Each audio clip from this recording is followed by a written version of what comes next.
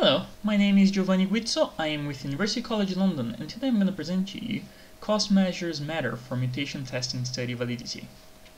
Well, mutation testing, although very powerful, is still is a costly task. Researchers have tried to solve this problem by selecting fewer mutants for execution because fewer mutants means less computational cost. However, many papers fall into the wrong assumption that by reducing in X percent the number of mutants, the computational cost is also reduced by X percent. In fact, we found out that 80% of papers on mutant reduction do not report execution time at all, and 72% use the number of mutants as a proxy for cost. In this paper, we show how this can affect scientific results. First, we quantify the error between the measures of number of mutants and execution time.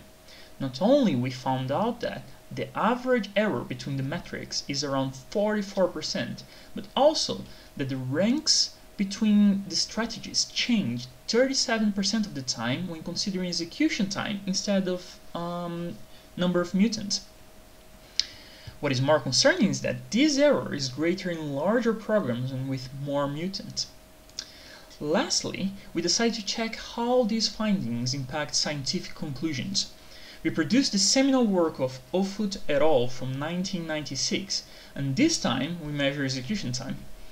So, for 5 out of 10 programs, the rank of strategies changed when using the execution cost. As a consequence, an inconclusive scientific finding using the surrogate measure is transformed into an unequivocal finding when using the true execution cost.